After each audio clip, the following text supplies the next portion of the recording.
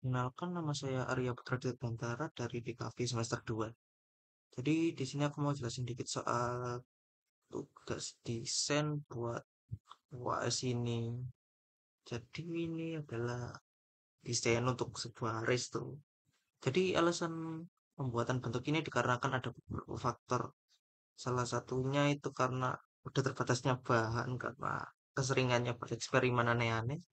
Dan untuk alasan kedua ini nggak sengaja nemu idenya waktu main waktu main sih apa refreshing terus nggak sengaja nemuin game jadul sih Pizza Frenzy menurutku memilih bentuk ini sih unik soalnya jarang aku melihat bangunan seperti ini.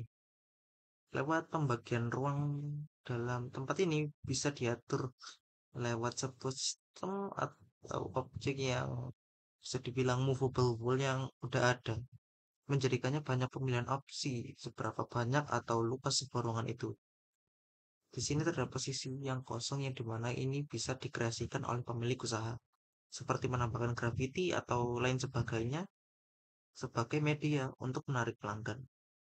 Mungkin segitu aja sih.